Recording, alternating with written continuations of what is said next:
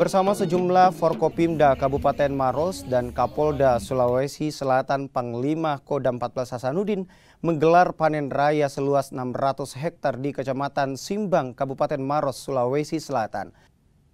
Panen raya ini sebagai wujud ketahanan pangan nasional. Selain itu, Panglima Kodam 14 Hasanuddin juga membagikan alsintan dari Kementerian Pertanian untuk kelompok tani. Tidak hanya itu, Panglima Kodam 14 Hasanuddin juga memberikan bantuan bahan pokok kepada warga kurang mampu dan anak pengidap stunting. Kita melaksanakan kegiatan uh, ketahanan pangan yaitu panen raya. Ini sesuai dengan instruksi Presiden, Bapak pimpinan kita, Bapak Kasat, Bapak Kapolri. Jadi bahwa keberadaan kita di wilayah harus bisa membantu pemerintah daerah, terutama ikut uh, mengatasi permasalahan ekonomi yang saat ini terjadi panen raya di sini sebenarnya luasnya seluruh total 4.300 hektar.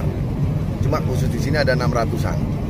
Pak, untuk jenis padi yang dipanen hari ini, padi apa Pak? Uh, jenis padi ini Ciherang. Tapi ke depan kita akan kita coba yang IP 400, yang satu tahun bisa empat kali. Pak menghasilkan berapa ton Pak di sini? Kalau satu hektar itu sekitar 7 ton. Ya, sekitar 7 ton.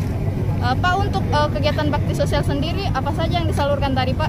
Jadi pada hari ini di samping kegiatan panen ini kita juga dikemas dengan yang lain. Jadi ada tadi pemberian bantuan sosial itu sembako itu 700 orang yeah. kepada masyarakat yang kurang mampu. Kemudian stunting juga sama. Kemudian juga tadi ada pemberian bantuan alsintan kepada kapotan-kapotan itu dari pemerintah daerah, dari dari Kementerian Pertanian.